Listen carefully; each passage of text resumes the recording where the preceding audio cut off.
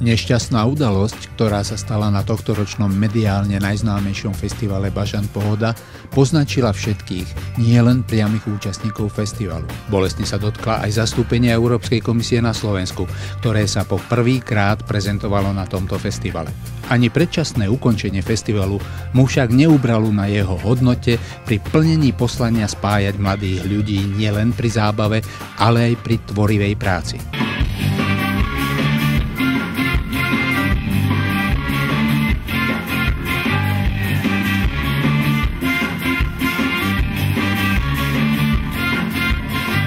Hudobné a zábavné formy boli v programe doplnené aj mnohými zaujímavými tvorivými aktivitami.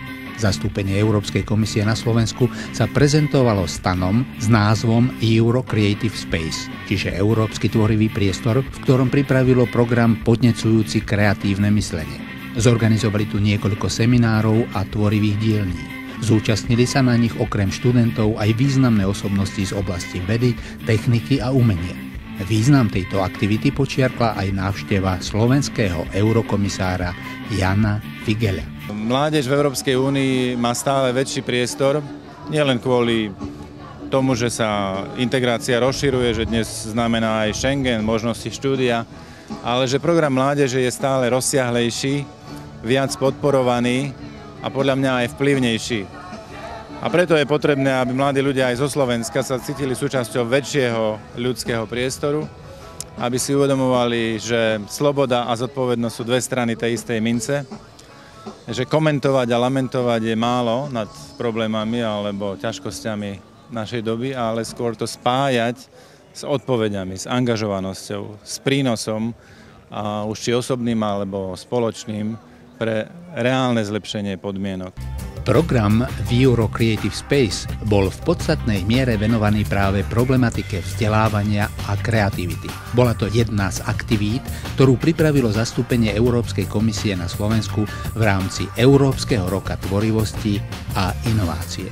Cieľom tohto roku je zvýšiť e, povedomie nás všetkých, ako dôležité sú v živote aspekty tvorivosti a inovácií. Podstate e, často hovoríme o talentovaných deťoch, ako keby iné boli nie talentované. Pravda je tá, že každý dostal nejaké talenty, rôzne, v rôznej miere a je dôležité, aby sme ich napríklad vzdelávaním a celoživotným vzdelávaním rozvíjali tak, aby na jednej strane sa človek stával plnohodnotnou osobnosťou a na druhej cez túto schopnosť tvoriť prispieval k zlepšovaniu svojich a spoločných životných podmienok. A v tomto zmysle je téma tvorivosti hneď spätá s inováciami, pretože inovácie sú tým, čím človek mení, vylepšuje systém fungovania, výrobu, služby, procesy, postupy, podnikateľské modely.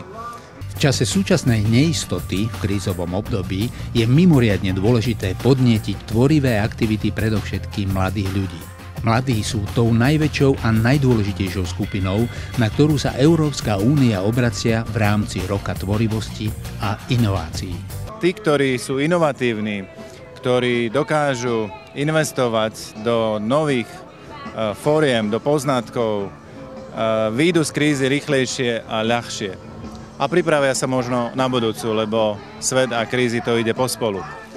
Národy, krajiny, kde vzdelanie a inovácie idú ruka v ruke ako systém, ako dlhodobý záujem a priorita, sú úspešnejšie. Máme mozaiku 27 krajín, môžeme vidieť, ako reagovali a reagujú na problémy doby jednotlivé štáty.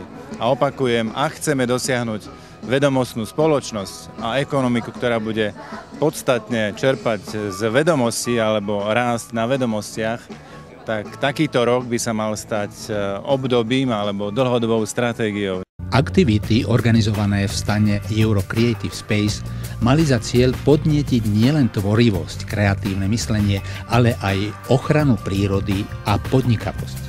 Organizátori sa súčasne snažili atraktívnou a interaktívnou formou navodiť príjemnú atmosféru. Štyri tvorivé dielne zamerali na rozvoj kreativity v rôznych druhoch umenia, ako je výtvarné, divadelné, hudobné umenie a dizajn. Ďalšie štyri podporili rozvoj inovácií v rôznych oblastiach vedy a výskumu.